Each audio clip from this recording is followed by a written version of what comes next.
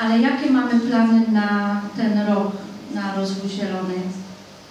Przede wszystkim e, miasto Kalety zawnioskowało do Wojewódzkiego Funduszu Ochrony Środowiska i Gospodarki Wodnej w Katowicach o środki na oznakowanie ścieżki ekologiczno-dydaktycznej Edukacyjna Wyspa Zielonej.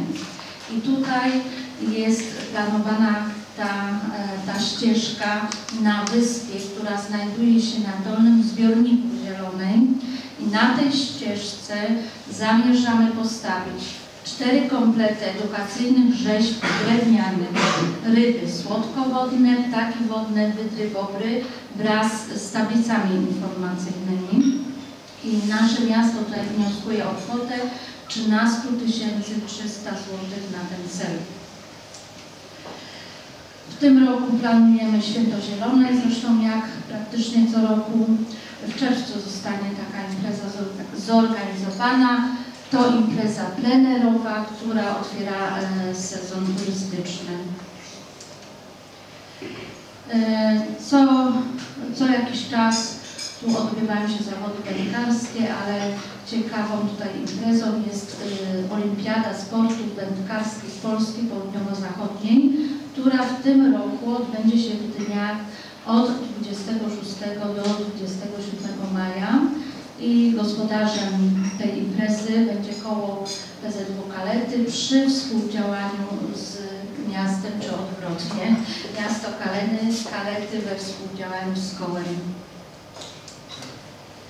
Jest też pomysł, narodził się pomysł odnowienia ścieżki przyrodniczej do Bobrów. Tutaj inicjatorem jest pan Józef Rzepka, e, miasto Kalety wspólnie z panem Józefem. E, Chcą sięgnąć po środki z Wojewódzkiego Funduszu Ochrony Środowiska i Gospodarki Wodnej w Katowicach na oznakowanie tych ścieżek wraz z drewnianymi figurami zwierząt.